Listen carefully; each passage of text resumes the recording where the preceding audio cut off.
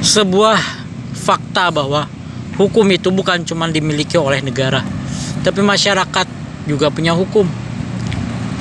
Ya kita nggak ngomongin sebuah masyarakat adat yang jangkauannya besar, kita ngomongin masyarakat kampung lah.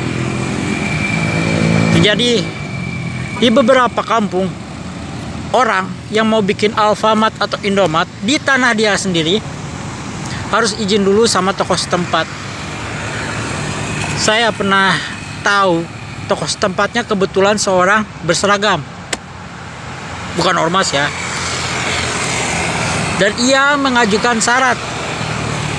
Kalau kamu mau bikin Alfamart di sini, kamu harus mengizinkan masyarakat setempat A, B, C jadi tukang parkir di Alfamart kamu